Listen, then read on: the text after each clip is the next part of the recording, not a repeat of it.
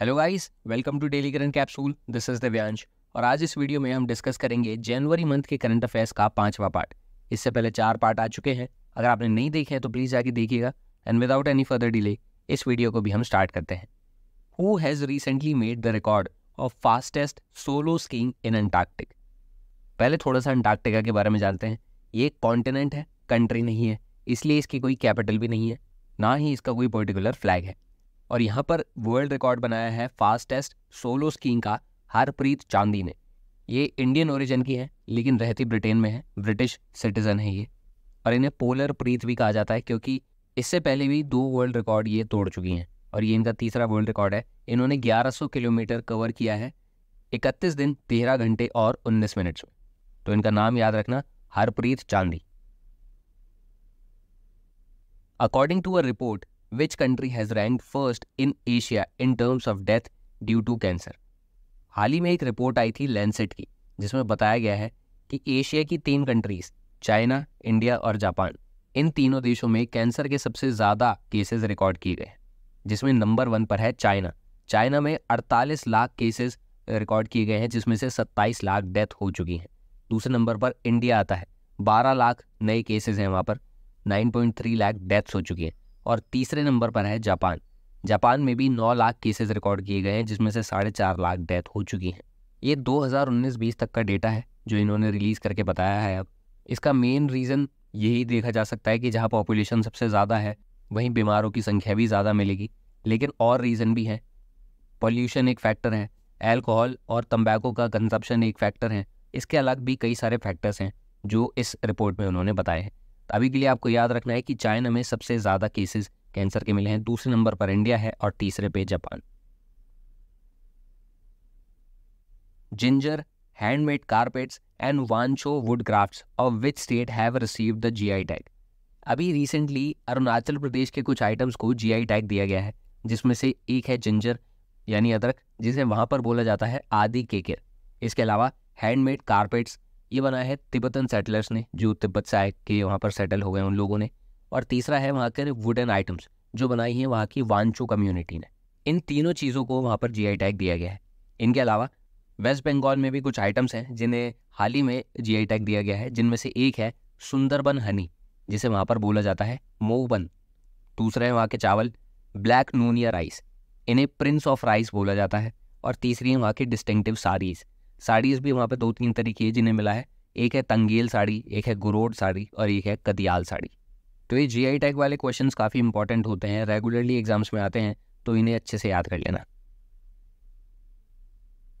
Who has receive the puberty sports men's athlete of the year award 2023 देखिए, हर साल के and में बहुत सारी ऐसी मैगजीन्स होती हैं जो एक स्पोर्ट्स पर्सन को नेम करती हैं as best sports person of the year और कई बार ऐसा होता है कि हर मैगजीन एक अलग बंदे को अवार्ड देती है। जैसा इस बार हुआ है तो कंफ्यूज मत होना।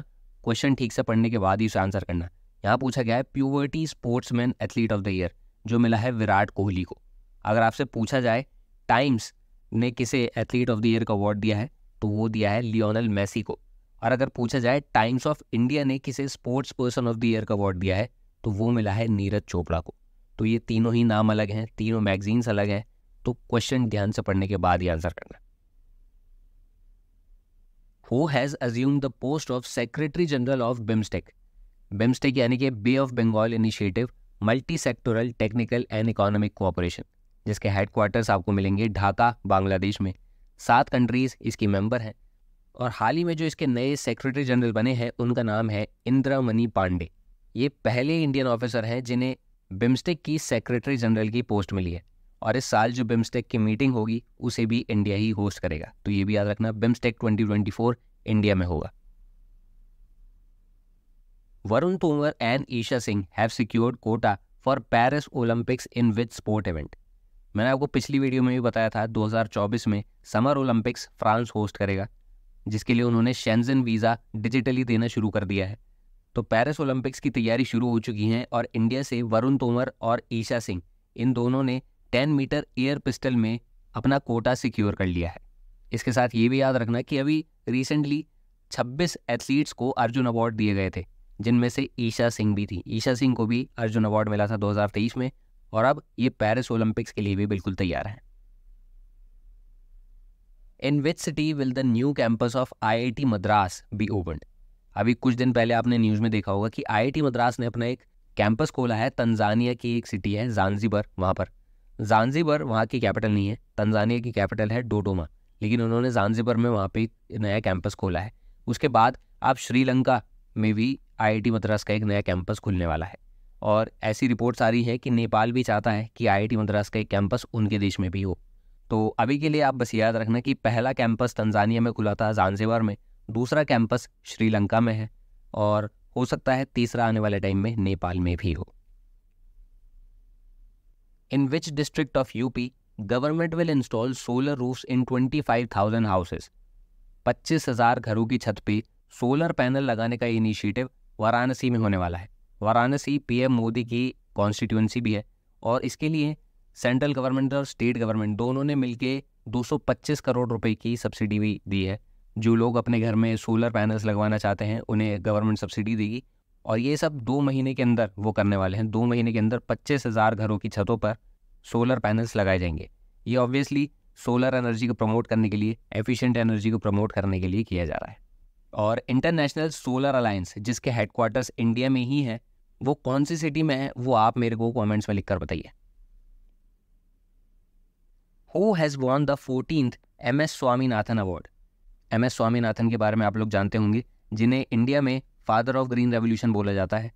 Internationally father of green revolution Norman Borlaug को बोला जाता है, लेकिन इंडिया में एम एस स्वामीनाथन है, जिन्होंने 1966-67 में ग्रीन रेवोल्यूशन की शुरुआत की थी इंडिया में, और एच वाई वी सीड्स लेकर आए थे, वो हाई यील्डिंग वेराइटीज़ लेकर आए थे वीट की और राइस की। तो उनके नाम पर ये अवार्ड दिया जाता है उन लोगों को जिन्होंने एग्रीकल्चर की फ़ील्ड में एग्रोनॉमी की फ़ील्ड में बहुत ज़्यादा कॉन्ट्रीब्यूशन दिया हो। तो इस साल ये अवार्ड दिया गया है प्रोफेसर बी आर कम्बोज को। ये वाइस चांसलर हैं चौधरी चरण सिंह हरियाणा एग्रीकल्चर यूनिवर्सिटी के। Which institute has designated the year 2024 as the year of human resource development and discipline साल 2024 को human resource development and discipline का साल डेजिग्नेट किया है ए ने। ए की फुल फॉर्म होती है Indian renewable energy development agency limited ये एक पी है पब्लिक सेक्टर अंडरटेकिंग और इन्होंने ही साल 2024 को year of human resource development and discipline designate किया है। ओके okay गाइस तो आपके दस क्वेश्चन हो चुके हैं जनवरी के पाँचवें पार्ट के। इससे आगे भी पाँच पार्ट और बच रहे हैं आपके, जल्दी से वो भी आएँगे। तब तक के लिए जो पार्ट्स आ चुके हैं, उन्हें अच्छे से रिवाइज करिएगा, मन लगा के पढ़ाई करिएगा and all see in the next class